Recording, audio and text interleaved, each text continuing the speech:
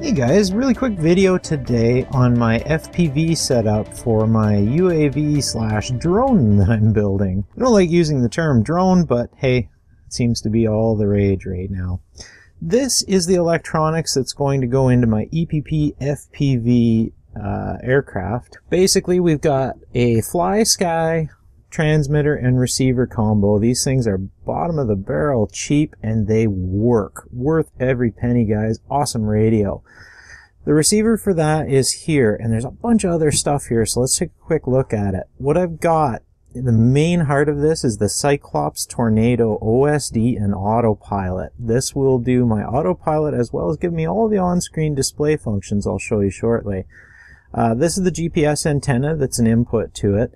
Basically, it's severed in half. This side is being fed from our main battery that feeds our motors. I've just got a 2200 hooked up through the current sensor here, which is actually feeding power to this side as well. But you can feed it from a separate battery, but that measures current and voltage, outputs the camera output to the transmitter, 5.8 gigahertz in this case. I've just got a dipole set up.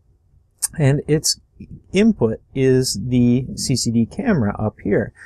As well, we have a pan and tilt hooked up so we can do our tilt and our pan and we can look around while we're flying. Should be pretty cool, should be pretty handy.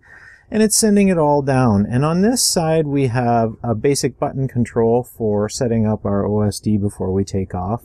Uh, normally this side was fed from your ESC, but I've just got a UBEC hooked up here with a little LiPo just for the sake of bench testing. As well, I have a multi-camera switcher, so I can do up to three cameras and one channel from the receiver, I can do switching between the cameras.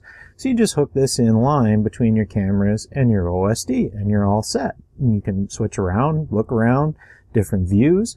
Uh, I'm gonna I'm gonna prototype this uh, without the camera switcher and we're going to get it up flying and get it usable and make sure all our radio equipment is okay. And we can just have a quick look at the OSD portion now. Basically, this is the receiver from the 5.8. This is my DVR, which is recording everything to an SD card in case I should need it. Should we, uh, hopefully not crash, but if we do, we can get the GPS coordinates off the screen this is just for other people to view. I'm using my Fat Shark goggles. And let's have a quick look at what we have on the display.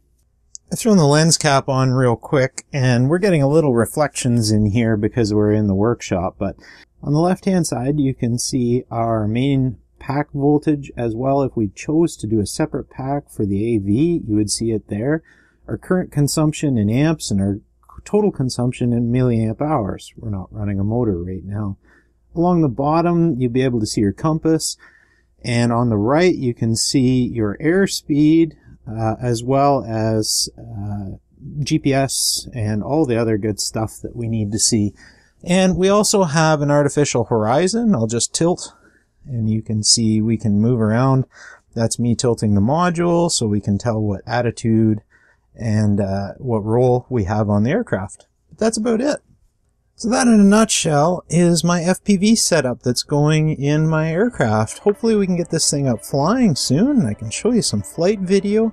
Uh, we will have some other cameras for outside view and hope you enjoy guys. If you like these kind of videos please consider a thumbs up and a subscribe down below. It really helps the channel guys. Good luck in all your projects.